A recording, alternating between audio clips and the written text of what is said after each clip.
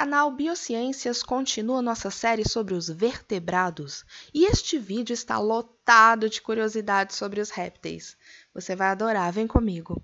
Primeiramente, eles recebem esse nome pelo fato de apresentarem movimentos rastejantes, pois o termo réptil, em latim, significa aquele que arrasta.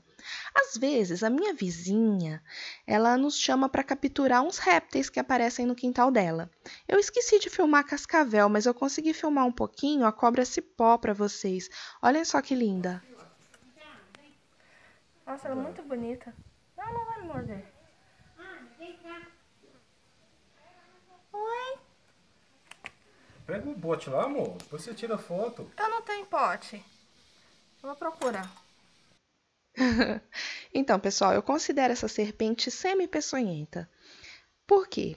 É, devido ao tipo de dentição, elas têm dificuldade para inocular o seu veneno. Mas existem casos raros de morte por envenenamento dessa cobrinha verde. Eu sei do caso de um bebê no sul do Brasil. Mas, enfim, vamos continuar a nossa aula. Entre os representantes dos répteis, podemos citar as cobras, os jacarés, os lagartos e as tartarugas. Os répteis são animais que possuem como características principais o corpo com poucas glândulas, impermeável e coberto por escamas e ou placas ósseas. A presença de pulmões, esses pulmões são bastante eficientes, e ovos, a maioria é, são ovíparos, tá? Olha só, gente, observe esse ovo aí de tartaruga, esse ovo de jacaré e o de cobra. Essas características que eu acabei de citar permitiram que eles pudessem viver em ambiente terrestre sem muitos problemas. Ah, essa aí é a cobra coral. Não tem como, tem gente que é espertinha. Ah, essa cobra ela é coral verdadeira ou coral falsa? Gente, honestamente, não tem como saber de forma segura se ela é coral verdadeira ou não pois para isso eu precisaria analisar o tipo de dentição dela, tá? Eu vou mostrar para vocês agora como elas namoram. Olha só sem vergonhice, galera. então, elas estão aí agarradinhas. Como eu disse anteriormente, a maioria dos répteis são ovíparos. Olhem só o que deu o resultado de tanto namoro. Um ovo. Mas também temos répteis que não botam ovos, tá, pessoal? Olha só. Ah, oh, gente, a maioria dos répteis possuem quatro patas. Lógico que as cobras não, né? Mas a maioria possuem quatro patas. Todos eles, mesmo com as patinhas, eles se arrastam, tá? Para se locomover. Gente, observe esses cinco dedinhos. Olha que legal essa membrana, essas cerdas aí. Elas que dão aderência para esses animais escalarem as paredes. Às vezes até o teto, você já viu? Os répteis, eles rastejam. Alguns são ótimos nadadores. Mas, gente, lembrando que eles sempre precisam subir à superfície para renovar o estoque de oxigênio, tá? Pois possuem respiração pulmonar. Alguns répteis possuem a língua bifurcada assim. Olha, essa língua, ela tem a função principal de cheirar. Isso mesmo. A língua bifurcada ajuda a sentir o cheiro em até três dimensões. Poderosíssima essa língua aí. Os répteis são ectotérmicos e, para conseguir manter uma temperatura ideal, eles têm algumas estratégias, como ficar em, em pedras quentes, ou se escondendo nessas pedras, ou no sol para aquecer, ou na sombra ou nos rios para se refrescar. Tem uma curiosidade até, se você correr é, para pegar um calango, ele vai correr também, vai correr também. Mas é, chega uma hora, assim, de uma hora para outra, ele simplesmente para ele para fica, e fica paradinho, ele não vai mais correr de você. Por que, que ele parou? Para esperar o metabolismo diminuir e o calor do corpo dele diminuir também, tá? Então isso pode acontecer. Ele fica lá paralisado, estátua, até o corpo esfriar. Vamos ver o que nós temos aqui. Ah, sim. Eles possuem aparelho digestivo completo, com boca e ânus. A maioria dos répteis são carnívoros, mas existem algumas espécies herbívoras e onívoras também. Ah, isso é muito interessante. Por volta de 2013, os pesquisadores eles fotografaram borboletas pousando e bebendo as lágrimas dos crocodilos. Em outras situações, abelhas também foram vistas fazendo o mesmo. E elas fizeram isso tanto com crocodilo como com tartaruga. Já se viu também a abelha é, sugando a lágrima da tartaruga. Não tem uma explicação exata para isso, mas o que se acredita é que o sódio contido nas lágrimas é o que atrai esses insetos e eles podem se beneficiar ali dos nutrientes contidos nessa lágrima, tá? Ah, pode parecer um verdadeiro pesadelo, mas os, os jacarés eles também conseguem escalar cercas e árvores. Isso não é nem um pouquinho raro, viu? Isso é muito comum. É, já tem quatro espécies de crocodilos que foram identificados subindo em árvores, subindo em coisas. Ou seja, nem sempre vai dar certo fugir deles indo para a árvore. Em quase todas as cobras peçonhentas, olha só, gente, que tanto de curiosidade sobre os répteis, né? Presta atenção nessa agora. Em quase todas as cobras peçonhentas, venenosas, podemos encontrar um buraquinho entre cada olho e a narina, que é chamado de fosseta lacrimal ou fosseta loreal. Esse órgão é especializado em sentir as variações da temperatura, o que permite à serpente saber se há presença ou não de outro animal ali próximo a ela. Fosseta loreal. Classificação dos répteis. Sim, eles são classificados em algumas ordens. Ah, primeiro, quelônios são as tartarugas, os jabutis e os cágados. Nós também temos os répteis crocodilianos.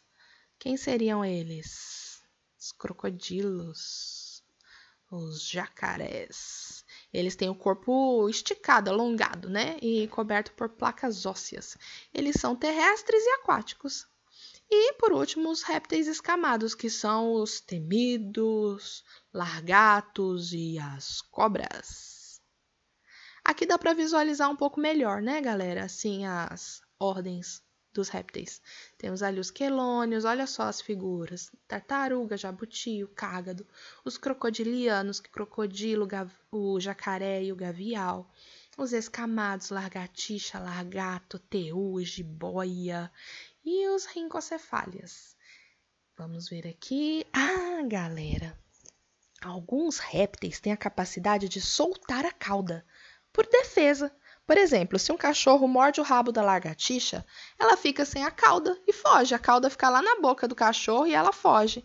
E depois cresce outra cauda, não tem problema não. O camaleão também é uma curiosidade muito bacana, que ele muda de cor para se camuflar melhor no ambiente, escapar dos predadores. Ah, o dragão de Komodo. Esse é o maior lagarto da Terra, com 3,5 metros de comprimento e até 125 quilos. É o bicho cuja aparência mais lembra os extintos dinossauros. Eles vivem nas ilhas da Indonésia e se alimentam de macacos, porcos, cobras, veados, javalis, etc.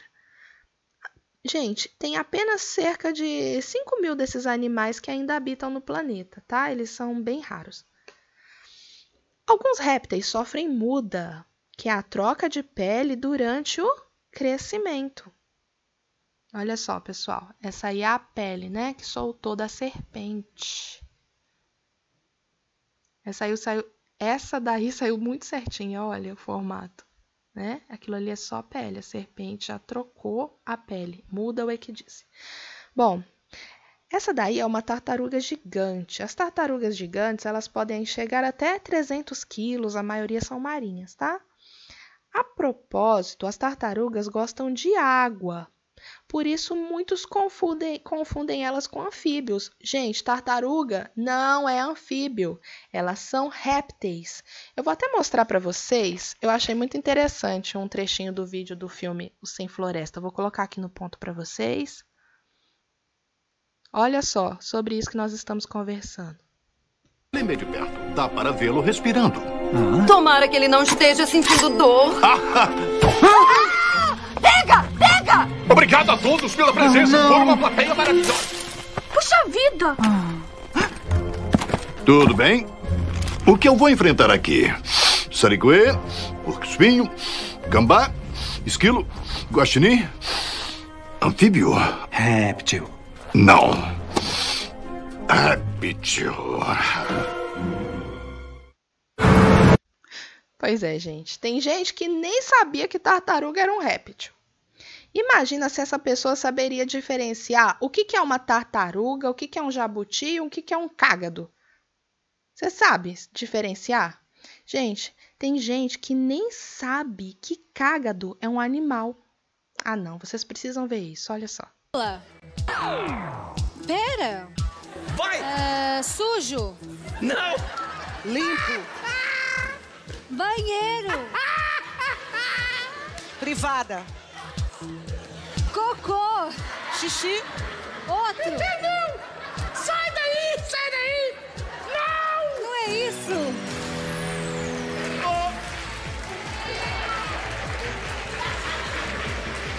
Gente Arruda, Ah, você literalmente borrou tudo. mas não é isso!